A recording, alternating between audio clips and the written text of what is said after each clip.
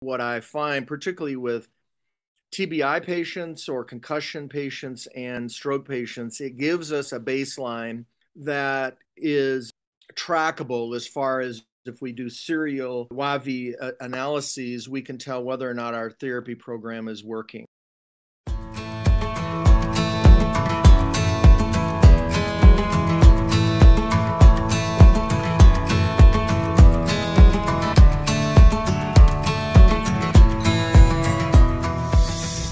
Yes, thank you. I think that I'm one very excited about the potential of the WAVI. I am happy with it just from my own personal uh, TBI and concussion perspectives. And what I find, particularly with TBI patients or concussion patients and stroke patients, it gives us a baseline that is then trackable as far as if we do serial wait, uh, WAVI uh, analyses, we can tell whether or not our therapy program is working and how quickly it's working. I have found as well that the WAVI correlates very close to symptoms. If they're talking about having brain fog or headaches or dizziness or they're just just not functioning right, don't feel like things are working right in the brain, the WAVI seems to verify that. And I think that's a valuable tool because MRIs don't necessarily do that, and they're very expensive to do. Um, also, you have to have specialized readers in order to really track functional side of uh, brain activity with an MRI, and typically uh, perhaps special dye as well.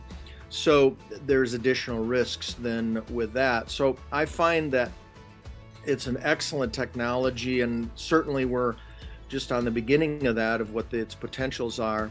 But we've always needed really a, in my opinion, a test that could be done serially to give us progress of our program for neurological problems. And this seems to fit, at least thus far for me, it fits that bill.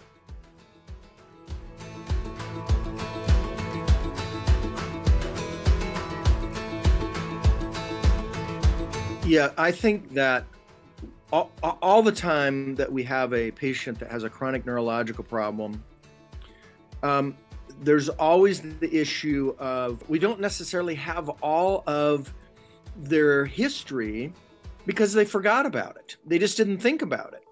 And with a couple patients that we did WAVI on, because they were having some issues, we discovered wow, they have a pattern of a TBI and we go back and ask them uh, in a different way. Maybe when you were a teenager, did you have some type of head injury? Did you have loss of consciousness or whatever?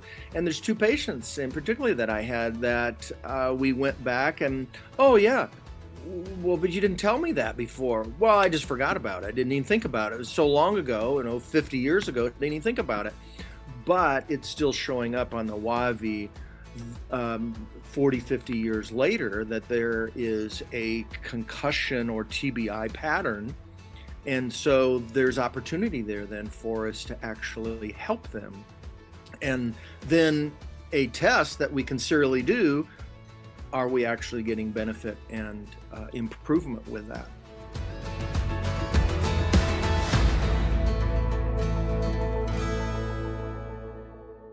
I think it's an easy test number one, to get executed. Um, I think you guys have been more than helpful in arranging for patients to get the test done. It's not a long, drawn out test, it takes about an hour, which is very doable for patients and for the practice. And also, then we get the information from the reading at only a few days out. And so I think also that's been very beneficial. So uh, it's timely. Like I said, it's an easy test to get executed. And I think that um, patients uh, don't mind having a test like that. That one, they don't have to fear. Two, they are not being given any drug or they're not having to go into a chamber or there nothing is going on that is intimidating them relative to the testing. And so I find that um, the service has been excellent in follow up and helpfulness and answering our questions and all of those things has been very good.